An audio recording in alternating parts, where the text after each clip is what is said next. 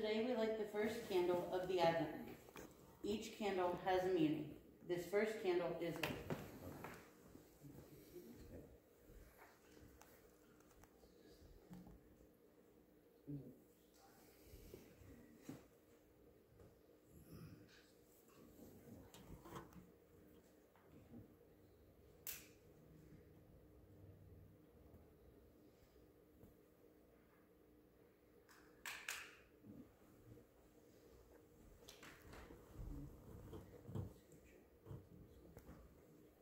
We wait and hope for the Lord.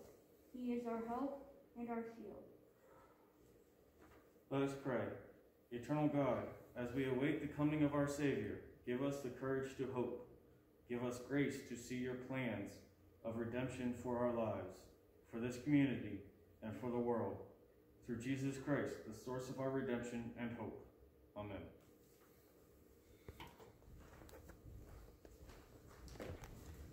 Thank you. Welcome to all of you this morning. Uh, Are there any announcements that we need to make? Um, so for those of you who are interested in like putting some Christmas decor up in this room, we're gonna come out on Thursday at six thirty. And anybody who wants to come, we're gonna see what we can do. Um, we don't know if we're gonna be able to do the whole like thing that normally happens, but we'll do something, so. Okay, thank you. I see the form for ordering poinsettias is in your uh, bulletin, and that will be due uh, in two weeks. Interested in ordering flowers. Anything else? Yes? Uh, the bell ringing for the Salvation Army, December twenty-third. The sign-up sheets is is in the battlefield. But I learned Monday that we have to ring outside Oh, my. due to COVID, so. Mm. If you can't ring and you've already signed up because of it, just take your name off, cross it off, I mean, Okay. yeah. Any other announcements? If not, Yes, I have something to say. oh, If, if you're going to ring and you think it's gonna be cold, you can buy some of those little hand warmers and put them in your, sh- in your boots and in your gloves, and that will really keep you a lot warmer. okay, thank you for that tip. Would you join me, please, in the call to worship? The Lord is getting us ready to receive a gift of great joy. Be vigilant and ready, for the gift is about to come. The promise of God is faithful and trustworthy. Watch, wait, the gift is coming into the world. Praise Praise be to God for such lavish love.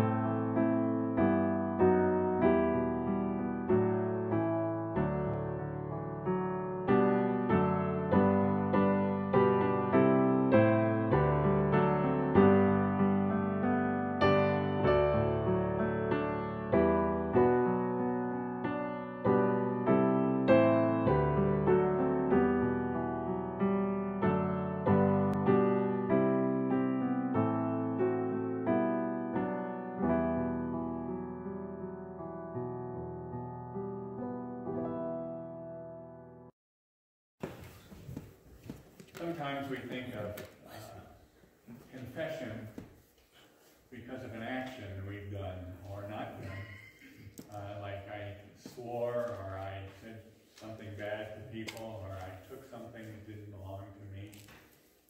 But it's more than just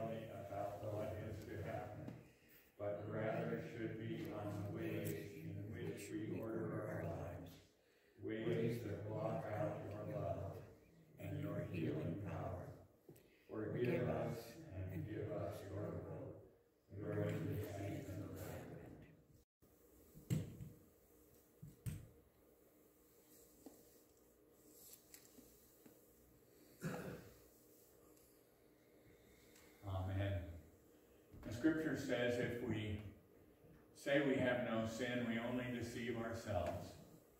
In fact, the Lord God said, the greatest commandment is to love the Lord your God with all your heart, for that is our peace, that is our strength, that is our life.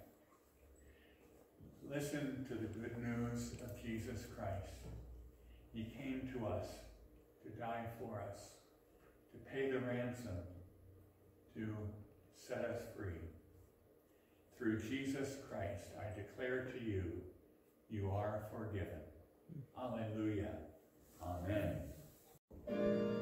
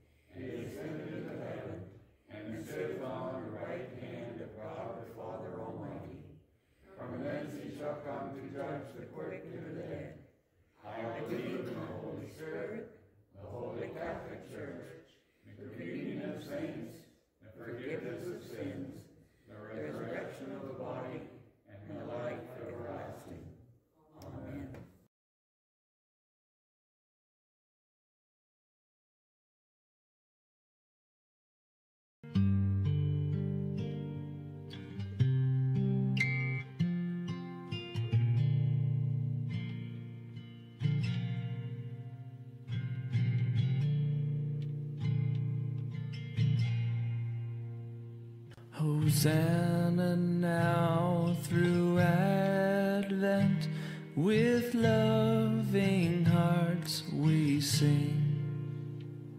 For Jesus Christ is coming to be his children's King.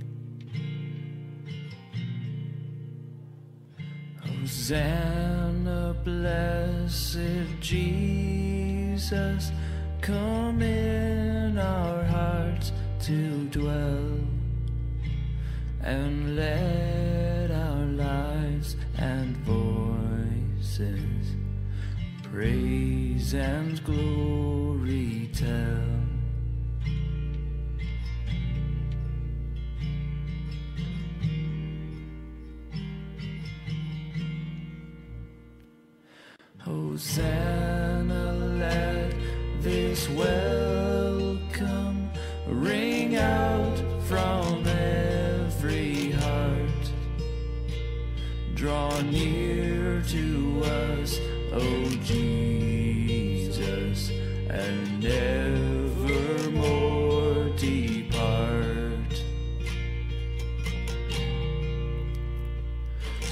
when we see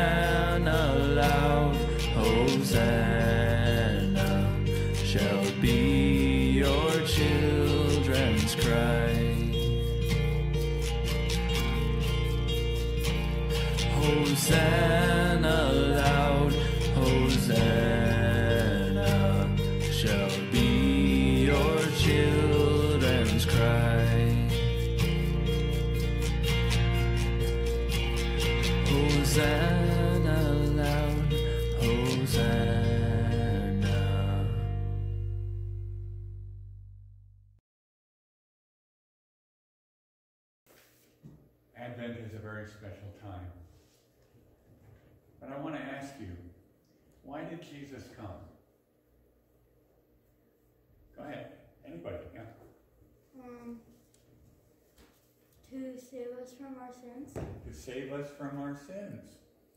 That pretty well sums it up perfectly. Because there was something that was oppressing us. We felt guilty, we felt, we knew things were not right, and He came that we might have life. Life in Him, life through Him. And so it is a marvelous story. In fact, the message we're going to have in a little bit talks about a much bigger story that God is what God is doing in our lives. And it's very, very special. He came to set us free from our sin and to God. Let's bow in prayer. Heavenly Father, we thank you. Thank you for this gift you've given to us of Jesus Christ. It's the reason we give gifts to one another. It is a reason we celebrate in song and so many special things. And so be with us, guiding us, working in our attitude as well as our actions, that we might honor and glorify you, not only in this season, but forevermore. We give you thanks in Jesus' name. Amen.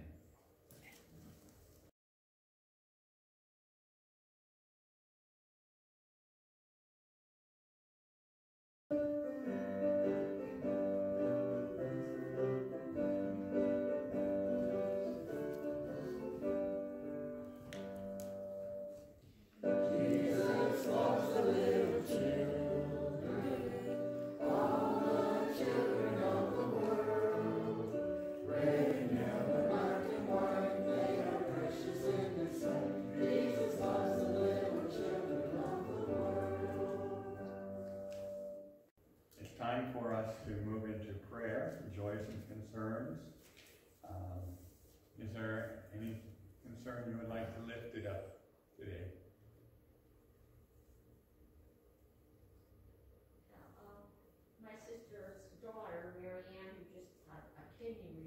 recently is now going through shingles. She needs some prayers, and I also ran into another friend of mine who also has shingles. It's already a difficult time and then add that on top of it, makes it hard. For Mary Ann for shingles, through getting through the shingles. It was a, a, a blessing to have a, a very nice Thanksgiving the other day at my sister's house. It was pretty much normal, nothing that we pared back on, but, uh, it was great to, uh, be with some of my family and, and enjoy a, a really nice meal and have a nice afternoon. That's great. Great. We'll pray for safety for our hunters and for the animals as well. For anybody who's sick right now, too. Heather's having a str- real struggle again right now with her unending pain. It just escalated a bit right now. For Heather, escalated pain.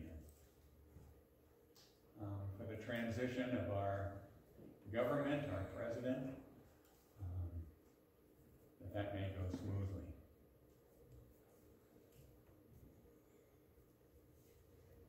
Let's go to the Lord in prayer. Gracious God, our Heavenly Father, we give you thanks that you call us to come to you and present the concerns and the needs as well as the joys of our lives.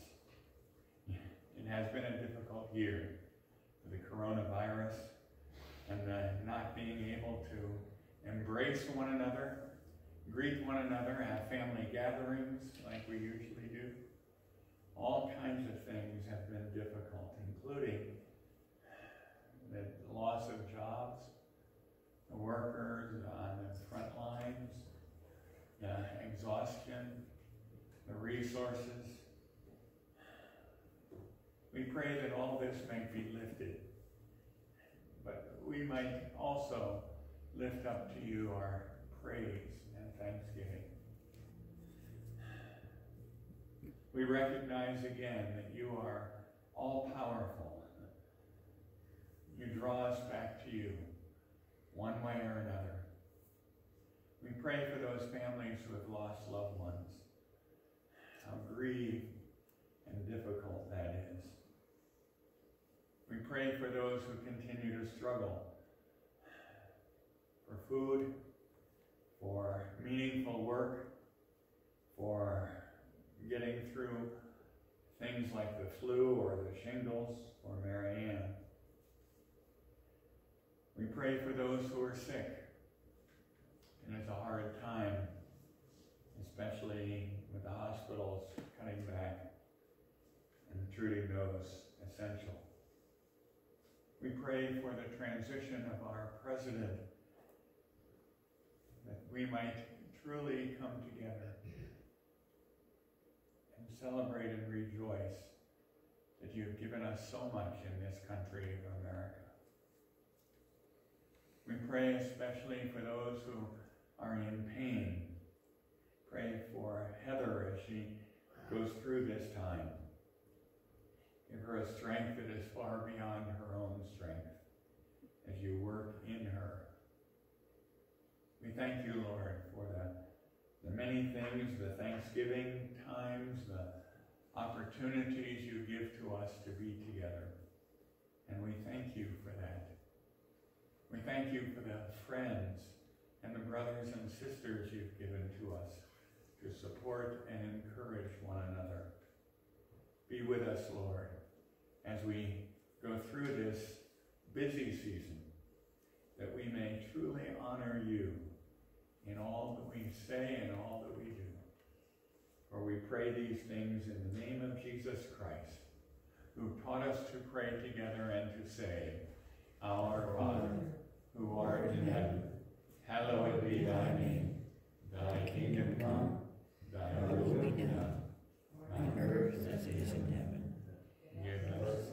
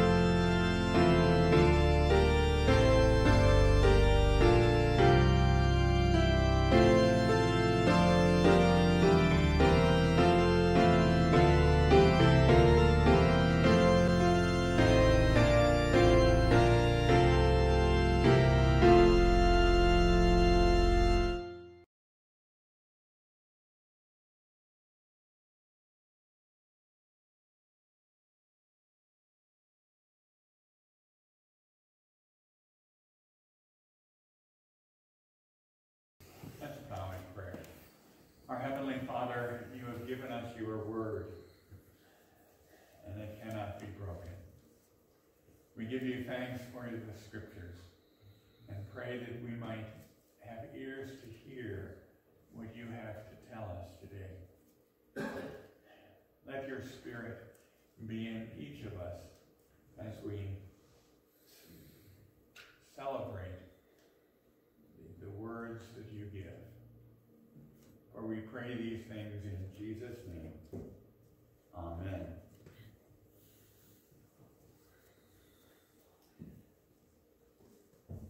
The scripture is from Ephesians chapter 1. The Apostle Paul, as you know, he went around to many different cities and taught and uh, set up pastors and elders in different towns. In Ephesus, he was there for three years, and so he really got to know the people and really did a great job. And now he's writing a letter to them. Uh, and it is obvious that it's to believers, because in the first verse he says, To God's holy people in Ephesus, the faithful in Christ Jesus. So he's writing to believers, and he wants them to know what God has done and is doing. And it's as relevant today as it was then. Listen carefully to the words, verses 3 through 12. Praise be to the God and Father of our Lord Jesus Christ, who has blessed us in the heavenly realms with every spiritual blessing in Christ. For he chose us in him before the creation of the world to be holy and blameless in his sight. In love, he predestined us for adoption to sonship through Jesus Christ, in accordance with his pleasure and will, to the praise of his glorious grace, which he has freely given us in the one he loves. In him we have redemption through his blood, the forgiveness of sins, in accordance with the riches of God's grace that he lavished on us. With all wisdom and understanding, he made known to us the mystery of his will, according to his good pleasure, which he proposed in Christ, to be put into effect when the times reach their fulfillment, to bring unity to all things in heaven and on earth under Christ. In him we were also chosen, having been predestined according to the plan of him who works out everything in conformity with the purpose of his will, in order that we, who were the first to put our hope in Christ, might be for the praise of his glory. May God allow us to not just wrestle with it and hear it, but take it with us where we go.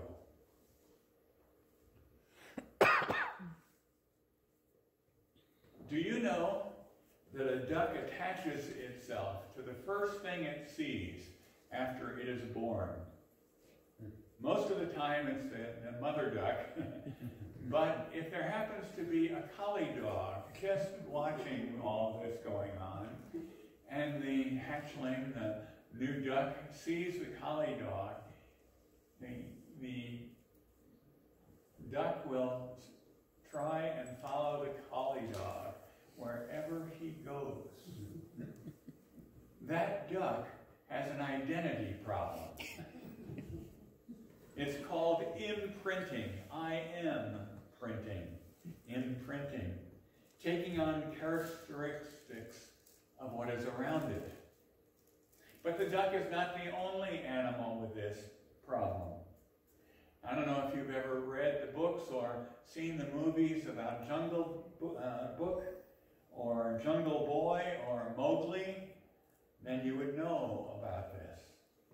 In the past 250 years, there have been 53 documented cases of a child being lost in the wild and surviving because it was taken care of by wild animals, such as um, wolves, bears, antelope, monkeys, even pigs.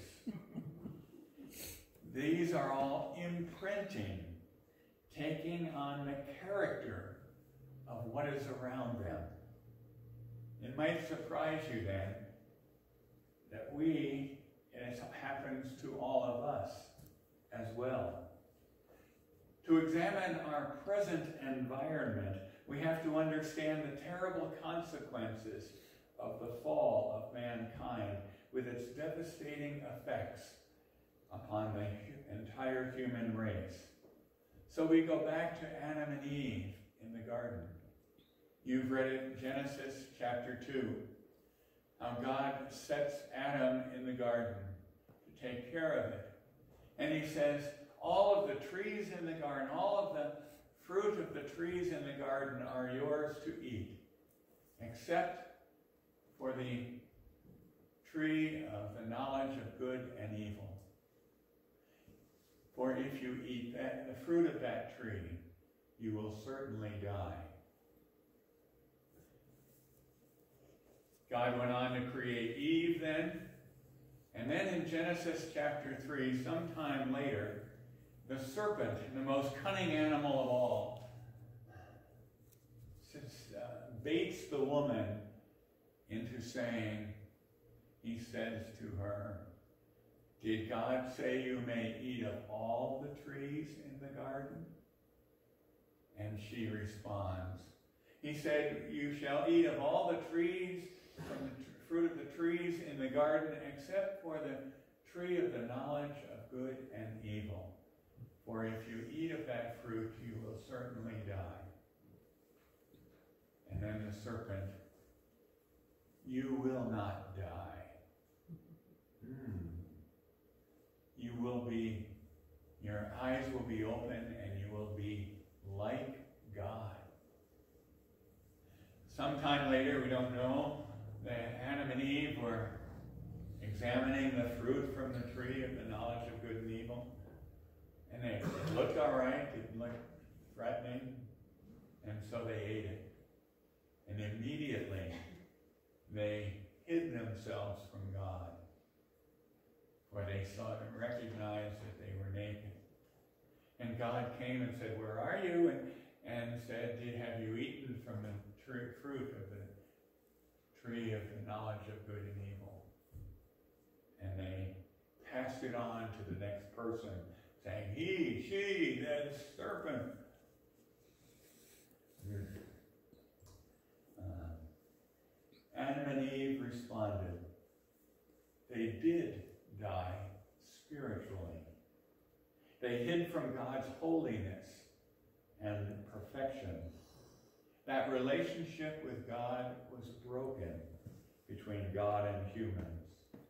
Adam was our representative, and that broken relationship remained for all humans who came after Adam. It is part of our human nature to want to be God. I come first. I, mine wants, my needs, my desires. It is part of human nature to want to be God. It is so deeply ingrained in us that the Bible says that we are all born flawed with sins, separated from God. Now, that doesn't mean we can't do good. We can do good.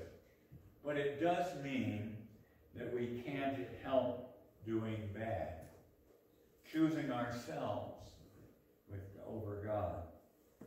But it goes much further than that.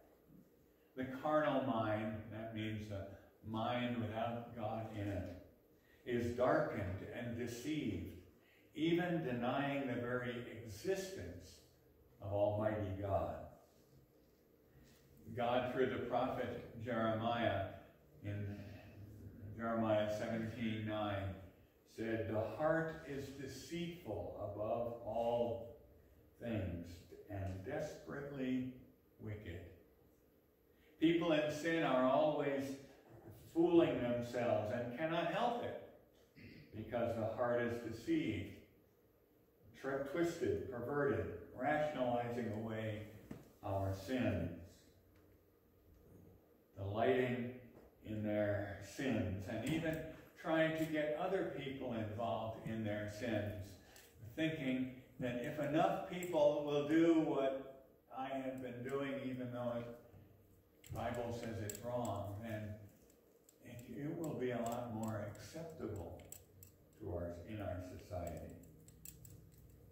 The heart is desperately wicked, going so far as hating God and denying the existence of God. If we want to be God, we want to put God down or there, say that there is no other God.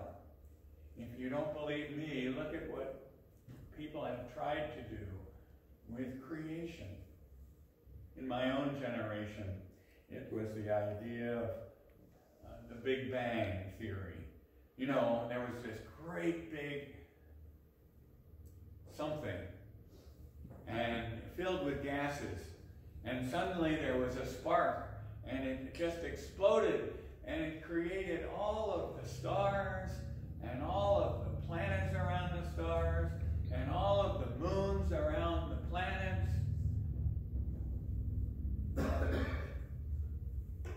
I don't know of a single scientist that believes that today. Mm-hmm. And there's so much wrong with that. But it was a way of just doing, describing what how it started without putting God in it. Or maybe before my time, the word evolution is probably still in some of the textbooks. Um, but most scientists have said there's just so many holes in that. People, it's not, it's not scientific at all. Again, people trying to talk about how we began without God's creation. We are all born separated from God. Our imprint is that we have grown up in a fallen world, and the attitude, habits, and values of this world around us we have tended to embrace. Try as hard as we can, we cannot correct our own situation. Then we meet Jesus and experience his love and sacrifice for us and his teaching. And we begin to see something greater than we've ever seen. God who came to correct our nature. That correction requires a very radical change. Jesus says that it is so radical, it is like a new birth. You must have a new birth. First, Second Corinthians 5.17, if anyone is in Christ, he is a new creature, new creation. The old is gone, the new has come. As we receive Jesus Christ as our Lord and Savior, we become a child of God to live in this world by faith, trusting Jesus. We are now learning to live with God's nature within us. We have died to the human nature, and we are alive to God given nature. We rejoice in this and give thanks for this amazing gift of Jesus Christ for us. But we are not taken out of this world, this fallen world. The world, the flesh, and the devil play on our old ways of thinking, trying to deceive us, to act like who we were before we took on the new nature in Christ. Hold, trying to hold us back from living this new life in Jesus Christ. We were like ducks acting like colleagues, waiting uh, until we realize our true God given nature, and with God's promises now becoming who God intended us to be. This is exciting and it's confusing, isn't it? The Bible says we are now in Christ. Everything that is Jesus Christ is now ours as well, forever. His holiness, His righteousness, also goodness, power, wealth, all of that are ours. But we don't feel holy, do we? Or righteous, right living. We don't feel like we have the robe of righteousness on us in God from God's eyes. Because we still do ugly and stupid things. Sometimes we don't turn away from the wrong. We do it anyway. It's not unusual to Christians to feel like I must be, there must be something wrong with me. Why do I keep doing this? This negative feeling creeps in upon us. We struggle to overcome the negative imprinting of this fallen world and to practice God's new nature. What we have failed to comprehend is that once we have accepted Christ's offer of salvation, our identity no longer depends upon ourselves. It depends upon Jesus Christ, who is faithful. Jesus said, You do not belong to the world, but I have chosen you out of the world. That is why the world hates you. John 15, 19. We are secure in Christ. He will not let us go. Our identity, our new life is in Christ. We are learning to walk with him and take on the priorities of his kingdom. Like a baby learning to walk, we will fall down many, many times and get back up again and keep trying until little by little we are li- living more and more in Him, in His righteousness. We are growing in maturity in Christ. Instead of putting ourselves down, we lift up thanksgiving to God for such amazing gift that he has given to us of new life. As we realize our situation, we don't beat ourselves up because we have failed or fallen. Rather, we run back to Jesus Christ, confessing our failure, receiving his forgiveness, and get back to envisioning and living our identity with him and in him. In our scripture this morning, Ephesians 1, 3 through 12, 10 simple verses. He talks about before the world ever began. Well, listen to the scriptures again. Verse 3 Blessed be the God and Father of our Lord Jesus Christ, who has blessed us in Christ with every spiritual blessing in the heavenly places. You are blessed with every spiritual blessing. Verse 4 He chose us in Him before the foundations of the world to be holy and blameless in His sight. You are holy. You are blameless. Verse 5 He destined us in love to be His sons and daughters through Jesus Christ. He adopted you into His family with all of the rights of being in that family. And He did it in love through Jesus Christ so that you might have the true identity. Verse 6 To the praise of his glorious grace, which he freely bestowed upon us. You have received his glorious grace. Though you don't deserve it, though I don't deserve it, he gives it to us anyway.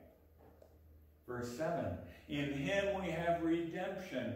That is a word used in, in the idea of slavery. When a person was being sold, then someone bought that person. Uh, they, they redeemed them. They set them, and they could do what they wanted. They could set them free if they wanted. And that is exactly what Christ did. In him we have redemption through his blood, the forgiveness of sins. You have been redeemed. Your sins are forgiven. Your past guilt and regret is gone. Verse 9 He made known to us the mystery of His will.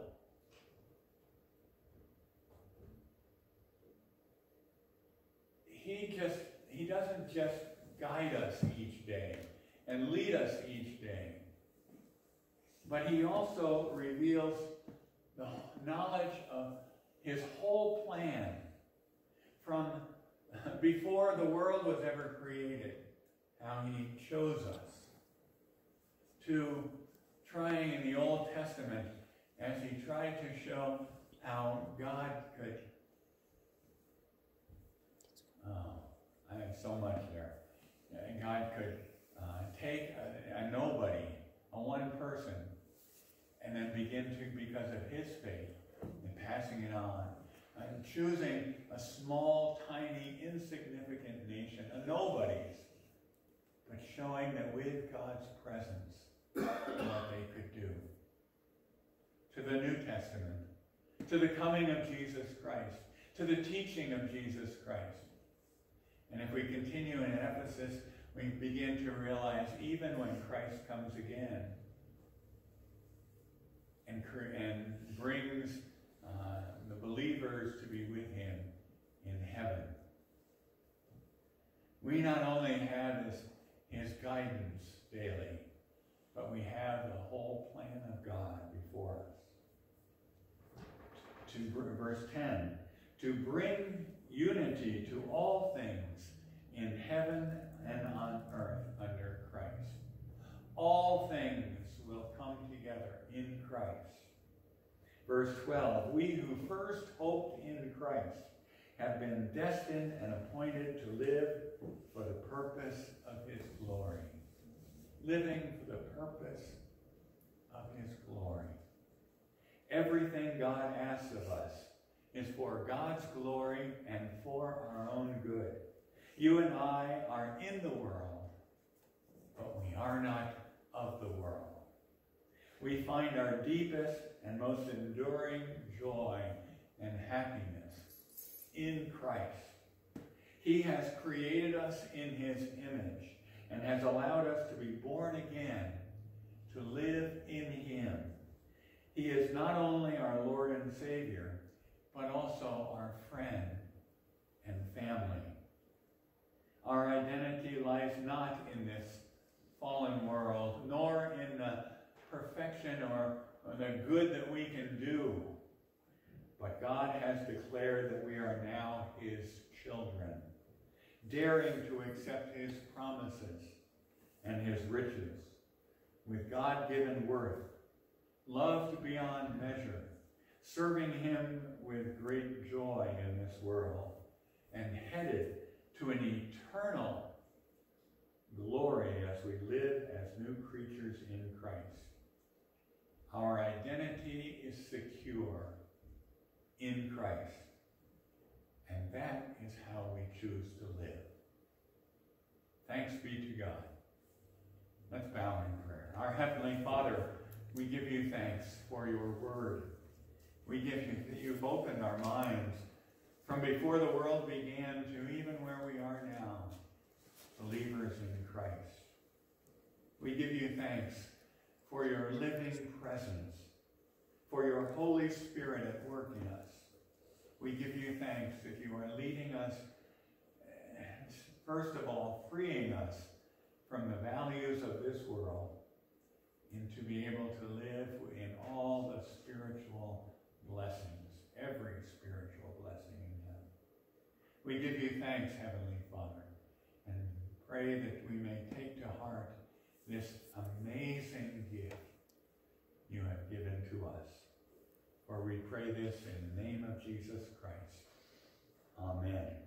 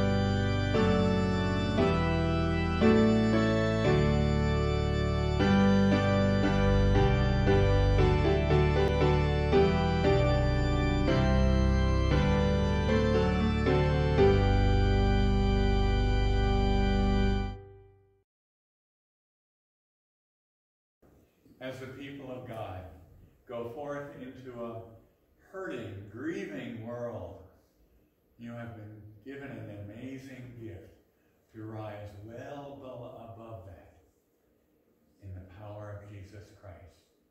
So go forth and allow him to live through you. And may the blessing of God Almighty, Father, Son, and Holy Spirit be with us all, both now and forevermore. And all of God's people said, Amen. God be with you till we meet.